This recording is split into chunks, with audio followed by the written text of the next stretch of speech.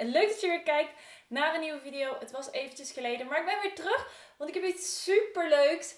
Namelijk, ik kreeg uh, van Nicky, mijn vriend, uh, voor mijn verjaardag, ik ben 27 geworden, yay!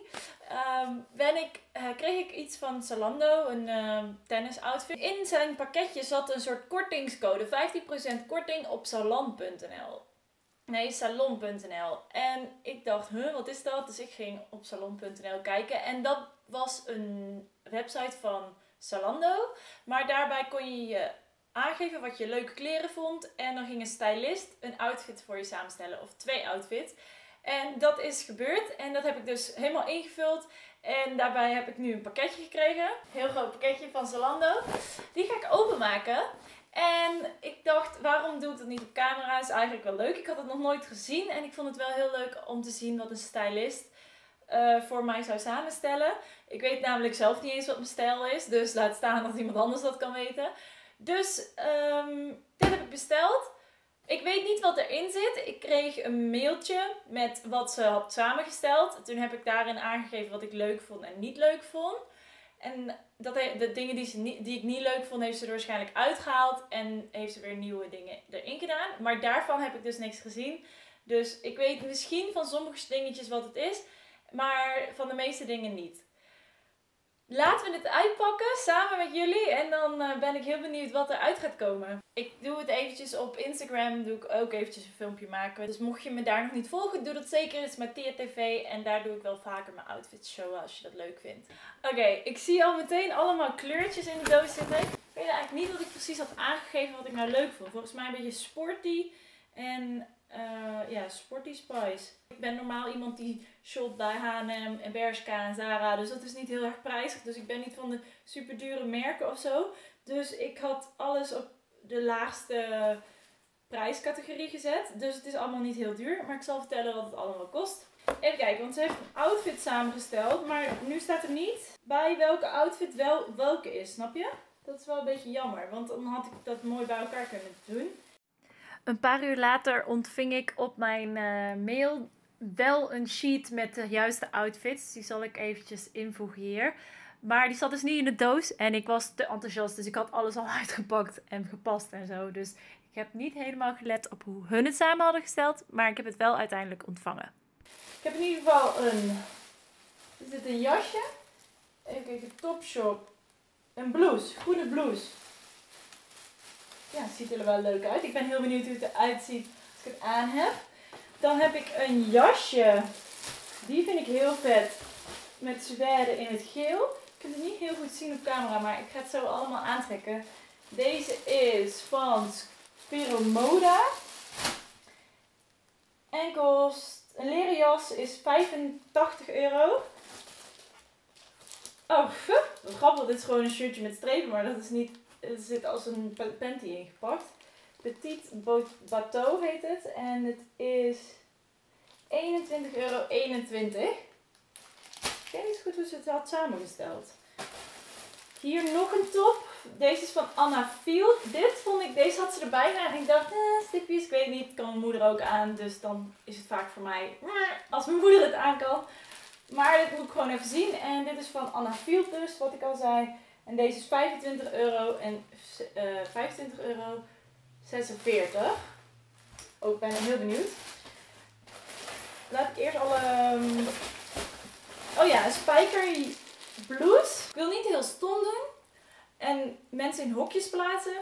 Maar ik heb altijd wel een beetje bij spijkerbloesjes en houthakkersbloesjes. Heeft gewoon een hoog lesbiegehalte. En dat is helemaal niet erg. Ik vind ze hartstikke leuk.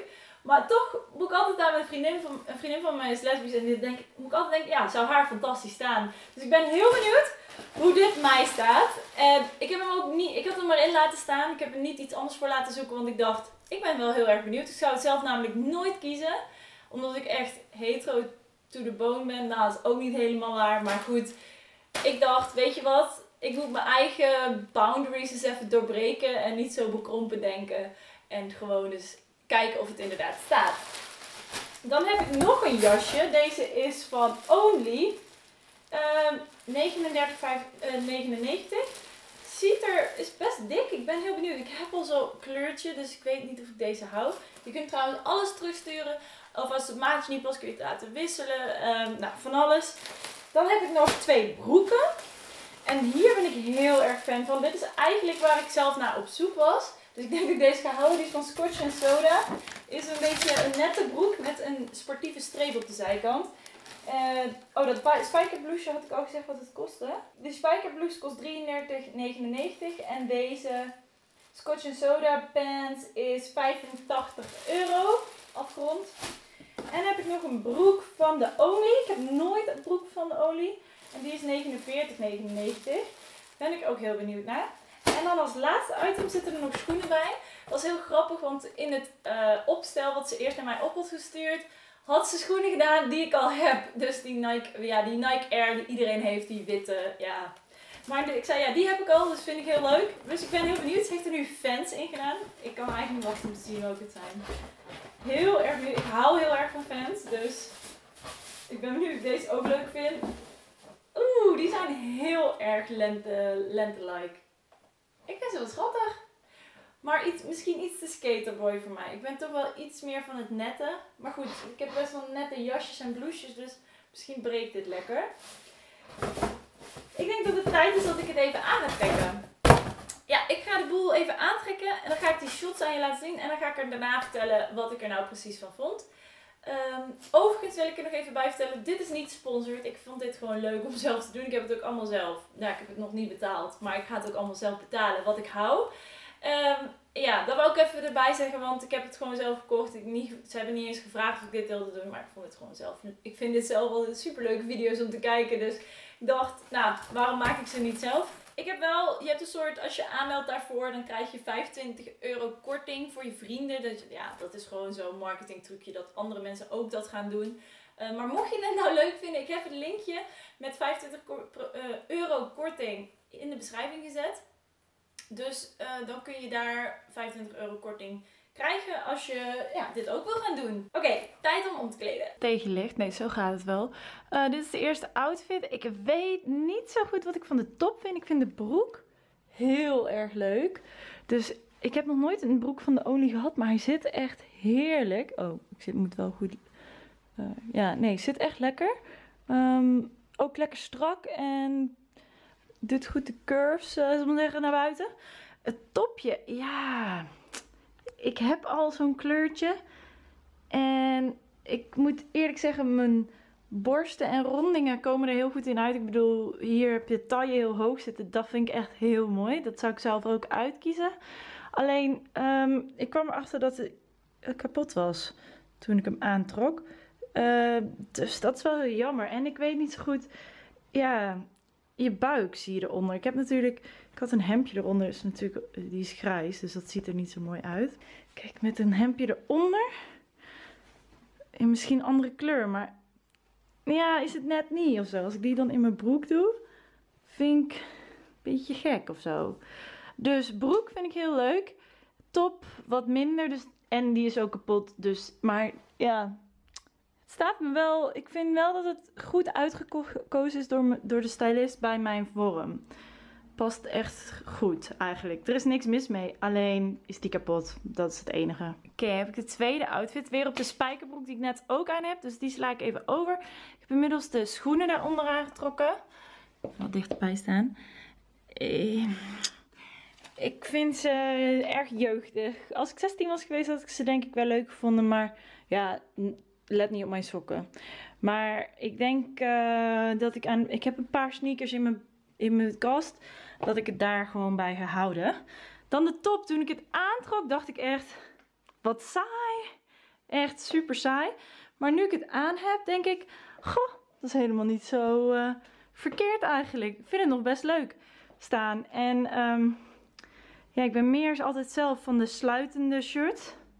Dus ik denk dat ik zelf misschien eerder een een maatje strakker zou kiezen. Maar op zich gaat het wel. Uh, het jasje heeft verder geen rits of zo. Dus dit is het. Maar ik vind hem wel leuk. Ik denk dat ik hem hou. Maar dan ga ik zo eventjes bekijken naar de rest. Tijd voor een hele andere outfit nu. Want ik ga nu die andere broek aantrekken. Uh, maar dit is in ieder geval, uh, vind ik een leuk outfitje. Zo, dan zijn we bij de volgende outfit. Dit leren jasje, wat ik echt heel erg leuk vind. En de broek waar ik al fan van was voordat ik hem aan had. Alleen. Ah, ik heb het altijd met scotch en soda. Dat het niet helemaal naar mijn model uh, staat. Het is net allemaal hier te los. Ook hier veel te los. En ja, verder zit hij hier dan wel weer strak. Dus ja, daar baal ik echt van. Dat is net mijn model niet. Want ik denk dat de maat wel goed is. Nou ja, het shirtje heb ik nu in mijn broek gedaan. Dat vind ik al een stuk leuker. Ja, en het jasje vind ik ook gewoon heel erg leuk. Ik heb wel een soortgelijk jasje, maar een andere kleur geel. Ja, ik denk, ik denk dat ik deze ook wel hou. Ik vind hem wel heel leuk. Maar ik baal wel van de broek, want ik vond hem echt een mooie broek. Kijk, er zit ook een, uh, een streepje aan en zo. Maar helaas. Maar deze is wel heel erg leuk. Ja, ik heb die broek nog heel even aangehouden. Want ik heb de volgende outfit aan. Uh, ja, deze moet, zou zo moeten. Maar ik vind dat dan wel heel diep. Dus ik heb er een hemdje onder gedaan. En dan uh, dat spijkerbloesje wat ik stiekem best wel leuk ja, dit ding, ik weet niet. Dat omslag, dat is voor iemand met hele grote mooie borsten, maar niet voor mij. Uh, dus deze ga ik niet houden. Hij is ook lange mouwen, wat een beetje vreemd is. Maar dit uh, blouseje vind ik wel leuk. Dus die hou ik wel. Um, alleen kan dat niet op een spijkerbroek. Maar ik heb gelukkig heel veel zwarte broeken. Dus ja, ook weer wel leuk. Ga ik nu laten zien aan jullie welke ik van al deze outfits nou hou en welke ik terugstuur. Nou, dat waren de outfits. Ik moet je zeggen, ik had er ietsjes meer van verwacht. De items die er waren gekomen waren best wel basics. Als in die ik zelf misschien ook wel zou kiezen. Dus ben ik een beetje uit mijn comfortzone gegaan. Niet helemaal. Uh, maar ik, ben, ik heb wel een hele outfit die ik gewoon compleet uh, door een stylist heb laten doen. De items die ik bewaar zijn uiteraard deze broek van Only. Ik had nog nooit een broek van Only gehad. En ja, ik vond hem echt heel mooi zitten en hij zat heel lekker. Uh, nogmaals, deze was 42,49. Deze denim blues, die vond ik echt heel leuk staan. En ook lekker, hij zat ook lekker en hij kleurde heel goed bij mijn haar. Dus die hou ik ook. Die kunnen alleen niet samen natuurlijk. Dat is allebei denim. Dan dit shirtje. Gestreepte shirtje. Hij zit nu binnenste buiten. Maar het gestreepte ondershirtje. Uh, ja, ik hou altijd wel van streepjes. En ik heb op dit moment geen streepjes in mijn kast liggen. Dus dat was ook een top item. En eigenlijk wel de catch of the day. Dit leren jasje. Uh, suède in een soort okergeel. Kan nu in de lente echt heel goed. Maar straks ook in de herfst is deze kleur echt niet lelijk. Dus dit is ook echt een lekker item om te hebben. En uh, ja, een leren jasje kan nooit kwaad. Dus deze gaat ook zeker in mijn kast verdwijnen. Nou ja, niet helemaal verdwijnen, maar die gaat zeker mijn kast in. Ik ben heel erg blij. Dit totaalbedrag was iets van 180 euro. Normaal shop ik niet voor zo duur in één keer. Maar nu heb ik een stylist laten doen. Dus het is wat duurder dan wat je misschien gebruikelijk doet. Maar aan de andere kant heb ik wel hele mooie items. En uh, de rest stuur ik gewoon terug. En ik ga ervan uit dat daar geen problemen mee zijn. Mocht je daar nog vragen over hebben, over terugsturen en retourneren, um, dan laat ik het in de comments weten. Dus vraag daar als je vragen daarover hebt. En dan laat ik weten hoe het proces is gegaan. Ik ga deze uh, items gewoon betalen en dan zie ik wel hoe het verder gaat. Uh, ik vond het super leuk om het een keer uh, um, uit te proberen. En ik zou het heel graag nog een keer te doen. Nog een keertje doen als, uh, als mijn portemonnee het toelaat. En ik zie jullie heel graag bij een nieuwe video de volgende keer. Maar voor nu wil ik jullie heel erg bedanken voor het kijken. Vergeet me niet te volgen op voornamelijk Instagram. Maar op al mijn social media heet ik Mattia TV. En op Twitch heet ik Mattia. Gewoon mijn eigen naam. En dan zie ik jullie heel graag bij een volgende video. Bedankt voor het kijken. Doeg!